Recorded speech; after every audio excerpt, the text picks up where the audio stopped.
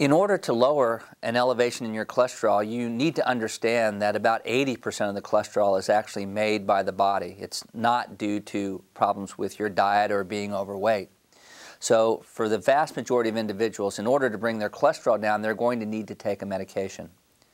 The cornerstone uh, medication for lowering cholesterol are statins, and there are many of them uh, on the market.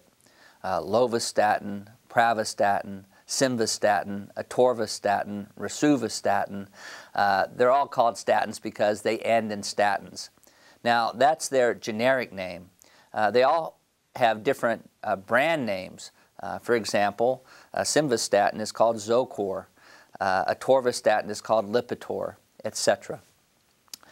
These drugs work by reducing your liver's ability to make cholesterol and these medications can all lower your cholesterol by somewhere between 30 and 50 percent.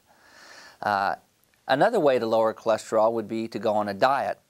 But large dietary studies have shown that if you dramatically reduce your cholesterol uh, intake, you can only lower your cholesterol about 10 percent. If diet and statins don't get your LDL cholesterol to goal, there are other medications that you can take.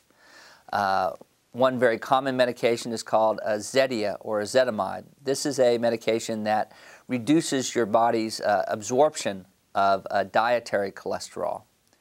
Another class of medications would be cholestyramine or Welchol. Uh, these medications actually bind bile, which your body uh, needs cholesterol to make, and so your body has to uh, actually make more cholesterol because you're removing the bile. So again, the main uh, forms of therapy for high LDL are statins, and there are several uh, on the market.